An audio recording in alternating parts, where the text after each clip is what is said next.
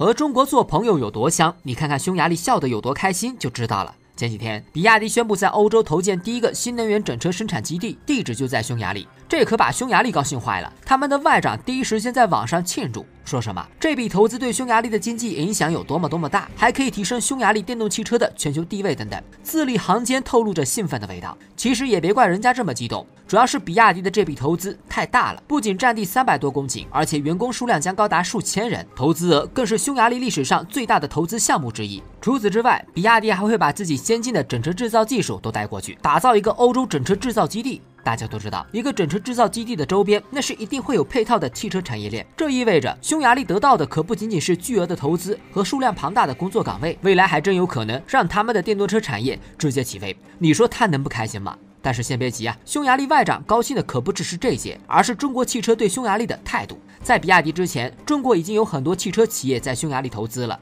二零一七年，比亚迪就在匈牙利投资建设了一个纯电大巴的工厂，第一次把中国电动车技术带到了欧洲。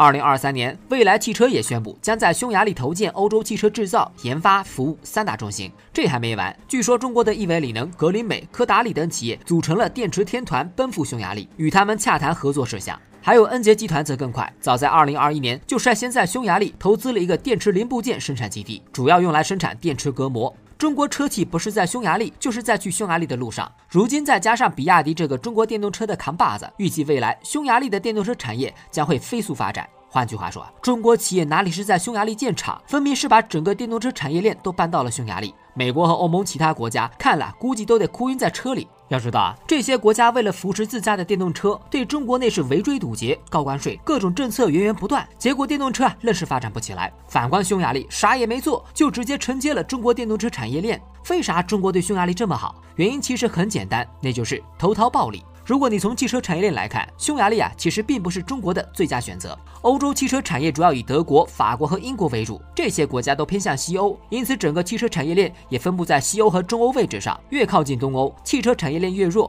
而匈牙利就是位于中欧偏向东欧的区域。从汽车产业链上来看，匈牙利并不占优势，但是匈牙利也有一个优势，那就是对中国非常友好。新中国成立后，欧洲有些国家还不承认我们的地位。匈牙利是第一批承认新中国合法地位的欧洲国家。中国提出“一带一路”倡议后，欧洲国家也是嘲讽的多。匈牙利又是第一个加入的欧盟成员国。疫情后，欧美抹黑中国疫情，匈牙利还是第一个正式承认和使用中国疫苗的欧盟国家。除此之外，匈牙利还发行了人民币债券，新建孔子学院，设置中文课程等等。